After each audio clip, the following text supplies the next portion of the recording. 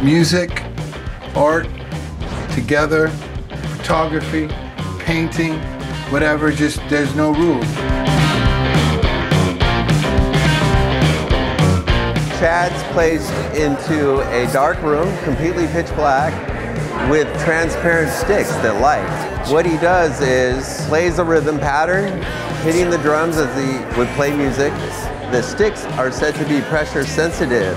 So as he hits the drum, the light goes off. The stronger he hits it, the brighter the light is. As he pulls away, the lights don't just cut out, they're said to fade out. So that's why you get the brushstroke, artistic brushstrokes of the rhythm patterns created by his drum.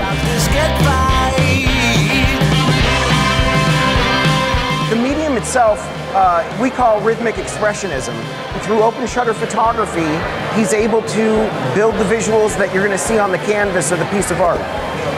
He reviews the captures, adjusts what he's playing to build the pieces that you're seeing. There's a lot of time spent manipulating these digital files into different layering to uh, create different Pantones and color variations that are very Chad Smith.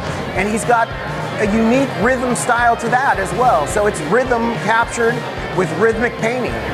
It's like nothing the world has ever seen before. Today I'm embellishing on my artwork. This has been really fun. And that's the most important thing to have fun with it. The art speaks for itself and it's just another really creative outlet for me.